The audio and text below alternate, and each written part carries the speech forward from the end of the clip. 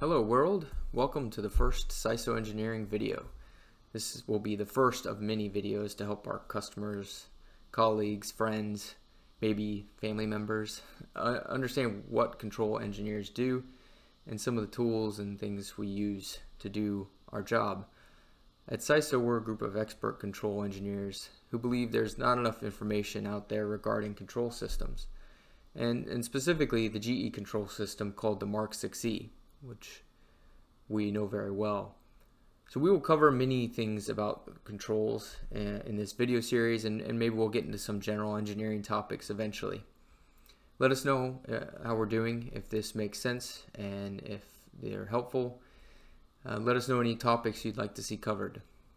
Uh, first up, I wanted to talk briefly at a, at a high level about what a control system is and how they are used. So let's get started. So what is a control system? A control system is a combination of electrical and mechanical devices that are used together to follow a process, produce a widget, or monitor a sequence. There are many different types of control systems. The main heart of a control system is the controller. I'm showing a few different types here above. The controllers range in size, complexity, and capability. Choosing the correct controller is a key deliverable for controls engineer. The controller usually consists of a microprocessor, an I.O., and communications.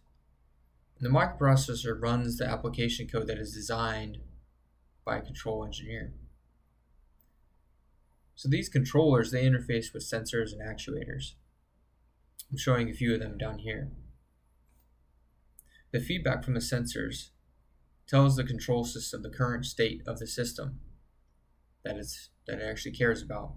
So the controller takes that and decides what to do next, either to hold steady or to change a certain actuator output so that the system can run uh, optimally. So the end goal of the control system is to produce a desired output.